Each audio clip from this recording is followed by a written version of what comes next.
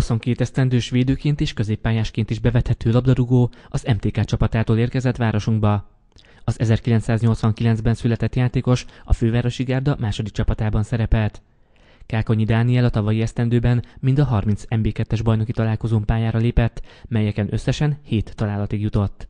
A labdarúgó az Egri FC ellen idegenben lejátszott felkészülési összecsapáson kapott lehetőséget, majd szerződtetésére az átigazolási időszak utolsó napjaiban került sor.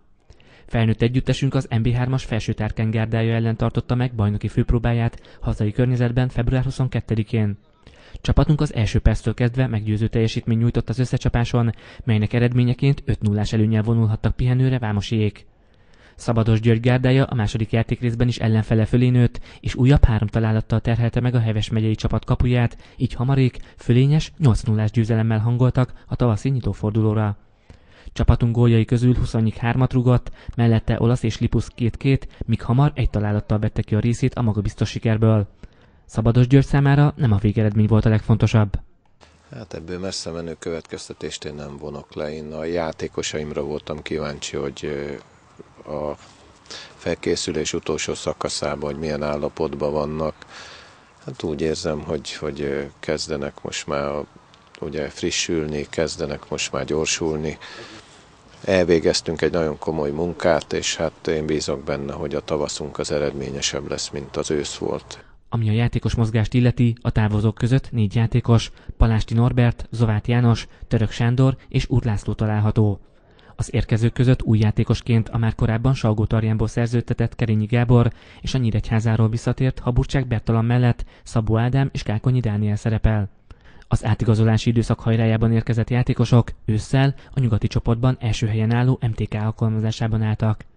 A fiatal tehetséges labdarúgók közül Szabó Ádám immár a DBSC tevasz játékosaként kölcsönben játszik majd mezőkövesden a tavasszal.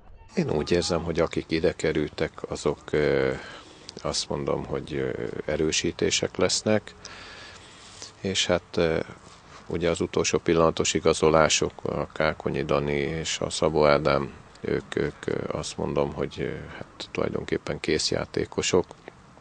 A Kerényi Gábornak van egy kis lemaradása. Én úgy érzem, hogy ő neki még idő kell arra, hogy utolérje magát, és azt a teljesítményt tudja nyújtani, amit én elvárok tőle igyekszik, tehát ezzel nincs különösebb gond. Biztos vagyok benne, hogy előbb-utóbb meg lesz neki az a szansz, hogy bekerüljön a csapatba.